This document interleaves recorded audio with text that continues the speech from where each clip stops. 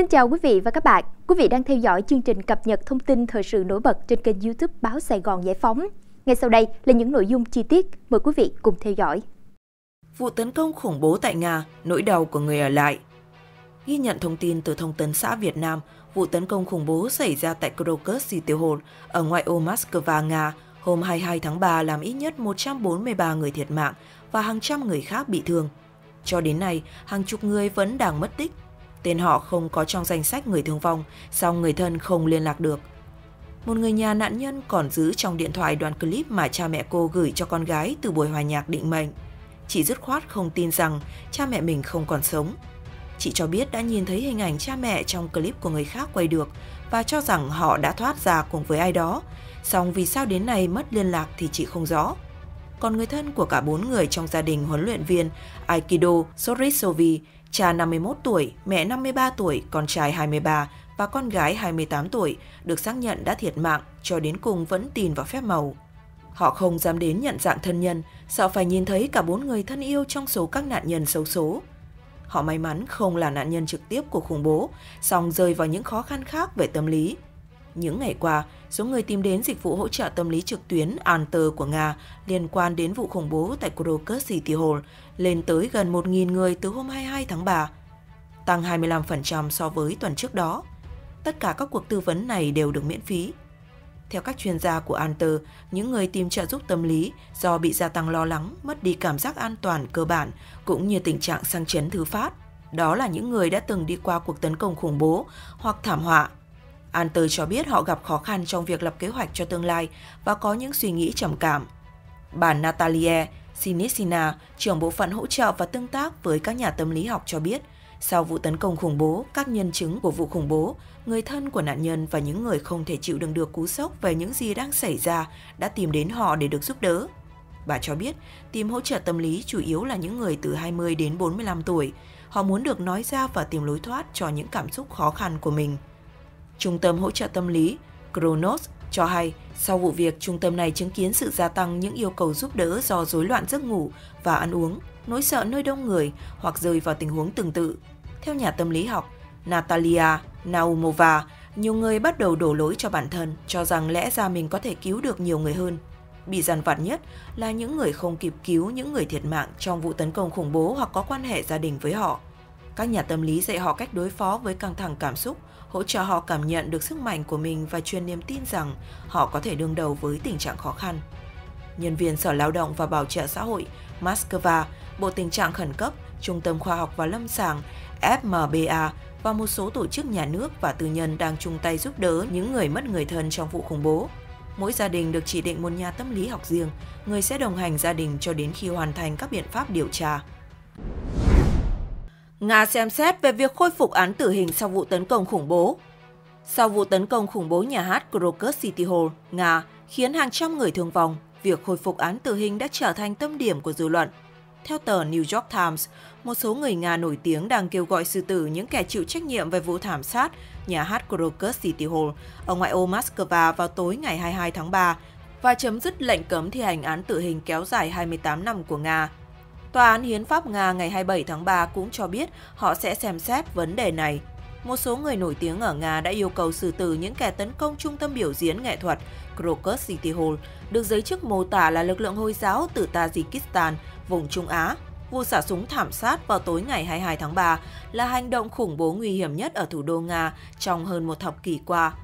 Ghi nhận thông tin từ báo tin tức, ngày 25 tháng 3, cựu Tổng thống Dmitry Medvedev Phó Chủ tịch Hội đồng An ninh Nga đã viết trên Telegram cho biết tất cả những kẻ liên quan đến các cuộc tấn công, bao gồm cả những người tài trợ và hỗ trợ nhóm khủng bố, đều nên bị xử tử.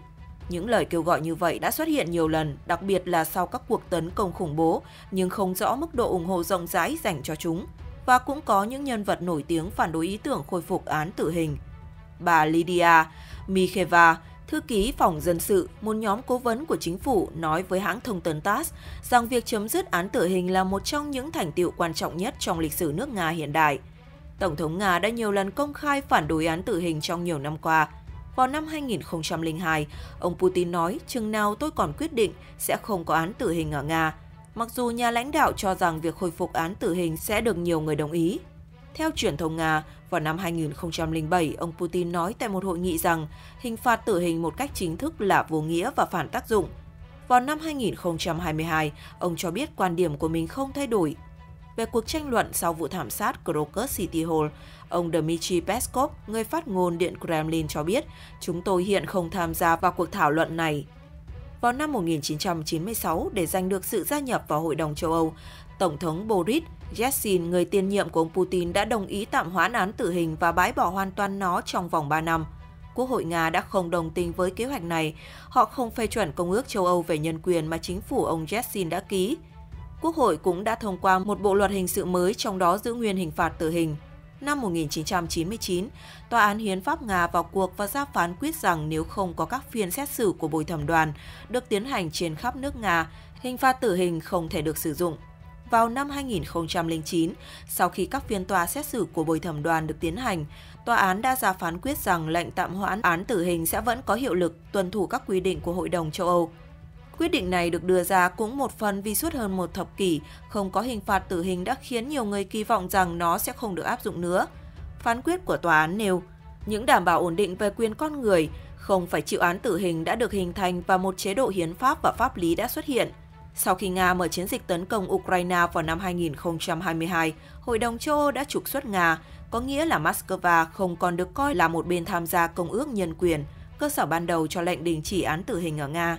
Vào thời điểm đó, ông Valery Zhukin, người đứng đầu Tòa án Hiến pháp, nói rằng việc áp dụng trở lại hình phạt tử hình sẽ không thể thực hiện được nếu không thông qua hiến pháp mới. Ông nói trong một bài giảng tại Diễn đàn Pháp lý Quốc tế Saint Petersburg Bất chấp tình hình bất thường hiện nay, tôi nghĩ sẽ là một sai lầm lớn nếu từ bỏ con đường nhân đạo hóa chính sách lập pháp mà chúng ta đã đi theo trong những thập kỷ gần đây. Ông Jorkin nói thêm, và đặc biệt, việc bác bỏ lệnh tạm hoãn án tử hình ở Nga, điều mà một số chính trị gia đã kêu gọi giờ đây sẽ là một tín hiệu rất xấu đối với xã hội. Vụ tấn công tại Nga ước tính thiệt hại gần 110 triệu USD Thông tấn xã Việt Nam dẫn nguồn tin từ hãng thông tấn TASS cho biết các hãng bảo hiểm cho rằng thiệt hại từ vụ tấn công khủng bố tại nhà hát Krokus City Hall ở ngoại ô Moscow, Liên bang Nga có thể vượt quá 10 tỷ rúp, tương đương 108 triệu USD. Tuy nhiên, các hãng bảo hiểm cho biết số tiền được bảo hiểm liên quan đến thảm kịch trên chưa xác định được nhưng công ty bảo hiểm có thể bắt đầu tạm ứng trước. Họ cũng cho biết thêm quá trình điều tra cũng như giải quyết sau đó có thể mất tới 2 năm nhà hát Crocus City Hall mở cửa từ tháng 10 năm 2009 trong cuộc trả lời phỏng vấn với RBC năm 2015. Doanh nhân sở hữu nhà hát cho biết ông đã đầu tư 70 triệu USD để xây dựng địa điểm tổ chức hòa nhạc với hơn 9.500 chỗ ngồi. Vụ khủng bố xảy ra tại nhà hát Crocus City Hall khiến phòng hòa nhạc Crocus đã bị thiêu rụi hoàn toàn sau khi các đối tượng khủng bố tấn công và phóng hỏa. Các cấu trúc kim loại thậm chí cũng tàn chảy do nhiệt độ quá cao nhà chức trách Nga đã bắt giữ 11 đối tượng tình nghi, trong đó có 4 đối tượng tình nghi trực tiếp thực hiện vụ tấn công, bị buộc tội khủng bố. Thư ký báo chí Điện Kremlin ngày 27 tháng 3, ông Dmitry Peskov cho biết cuộc điều tra về vụ tấn công khủng bố vẫn tiếp tục và chưa có giả thuyết chính thức về vụ khủng bố này. Hiện các cơ quan tình báo liên tục báo cáo với Tổng thống Vladimir Putin về cuộc điều tra. Trước đó, người phát ngôn Bộ Ngoại giao Liên bang Nga, bà Maria Zakharova đã cho rằng các quan chức phương Tây tuyên bố quá sớm về nguyên nhân và thủ phạm thực hiện tấn công khủng bố. Cơ quan y tế Nga cho biết số người bị thương trong vụ khủng bố tại nhà hát Krokus City Hall, Moscow, Nga hiện đã tăng lên 360 người, trong đó có 11 trẻ em. Số người thiệt mạng tăng lên hơn 140 người. Có tới 92 trường hợp bị thương đang phải nhập viện – 63 người đã được xuất viện và 205 người đang được điều trị ngoại trú. 95 người vẫn được cho là mất tích. Trong khi đó, thị trưởng Moscow Sergei Sobyanin cho biết đã có hơn 7.700 người tình nguyện hiến máu cho các nạn nhân của vụ tấn công khủng bố trên. Trước đó, Phó Thủ tướng Nga Tatiana Golikova thông báo có đủ thuốc và máu cho những người bị thương trong vụ tấn công tại nhà hát Krokus City Hall. Bà cũng cho biết tổng cộng trên 24.000 người đã đến các điểm truyền máu. Những thông tin vừa rồi cũng đã khép lại chương trình của chúng tôi. Quý vị đừng quên đăng ký kênh để trở thành người đầu tiên theo dõi những thông tin mới nhất trên kênh YouTube Báo Sài Gòn Giải Phóng. Còn bây giờ, xin chào và hẹn gặp lại quý vị và các bạn trong những chương trình sau.